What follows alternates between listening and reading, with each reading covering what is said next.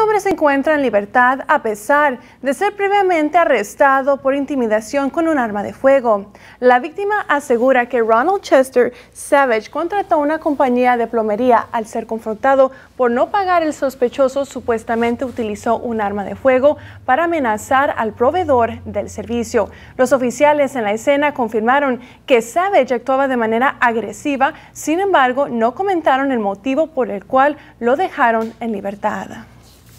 La policía de Tulsa se encuentra buscando a dos sospechosos de disparar en contra de dos víctimas ayer por la noche. De acuerdo con los testigos en la escena, cinco personas, incluyendo a las víctimas, se encontraban fuera de su domicilio cuando un vehículo descrito como oscuro de cuatro puertas comenzó a disparar.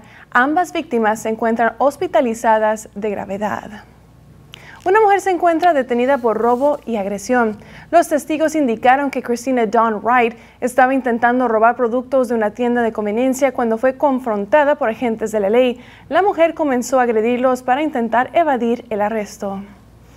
Un hombre se encuentra detenido por maltrato animal y los testigos fueron precisamente los oficiales que realizaron el arresto. Ambos indicaron el haber visto a Giovanni Malik Jolando jalando agresivamente a un perro para después patearlo en el rostro. Los oficiales intentaron confrontar al sospechoso, pero este se comportó de una manera agresiva, por lo que terminó arrestado. La mascota ahora se encuentra en custodia de control animal.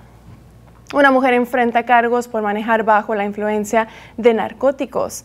La mujer se encontraba manejando a alta velocidad y no respetaba las indicaciones viales. Durante la investigación se descubrió que dos de sus hijos, ambos menores de dos años de edad, se encontraban solos en casa con la puerta abierta y en condiciones descritas como deplorables.